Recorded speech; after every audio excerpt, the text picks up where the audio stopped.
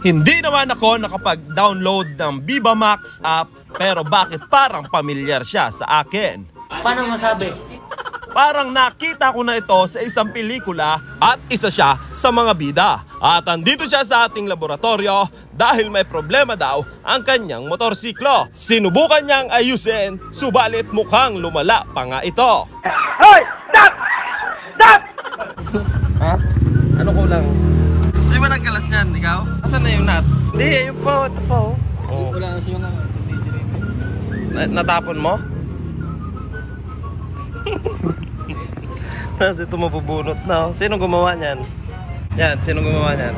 Ano sinodya ring iron mo eh. Tapos nilagyan ng ano, epoxy, tapos noodles. Trouble niya pump.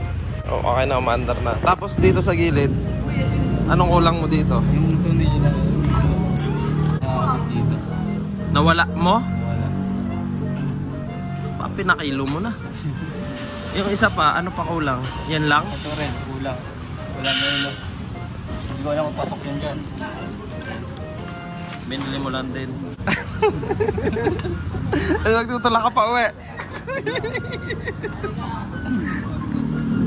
Tulak pa uwi. Ang Importante, umaandar na. Bigla akong napatayo dahil nag-iba ang amoy ng paligid.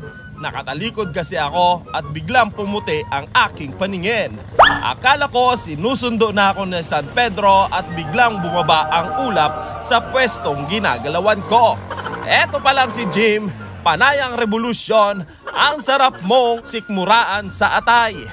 Ayan o, nandyan ako sa kaliwang bahagi, may ginagawa at may naamoy akong kakaiba. Paglingon ko ang ganda pa ng ngiti ni Jim, makakayakap talaga ako ng mahigpit sa liig neto.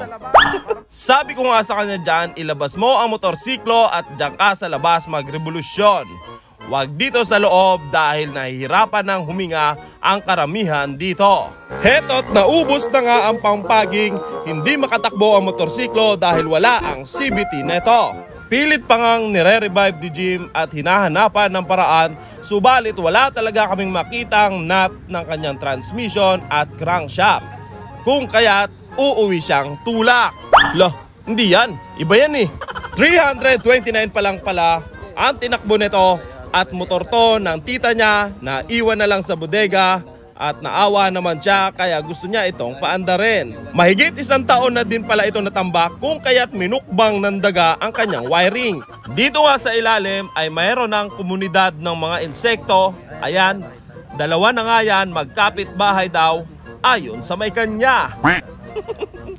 May kasama din daw itong mga gagamba dito daw sa may ibabaw banda. Ayan, sabi niya itaas mo ang camera makikita mo yan kuya. Totoo nga. Meron nga bahay ng gagamba at may komunidad na nga daw sa kanyang motorsiklo. Dumayong may tinutulak, umuwing nagtutulak. One foot power na nga ang nagawa natin sa kanyang motorsiklo. Isa na namang Repa Pips natin ang very satisfied sa ating gawa. Ayan o, one foot power. Alright ba tayo dyan? Alright.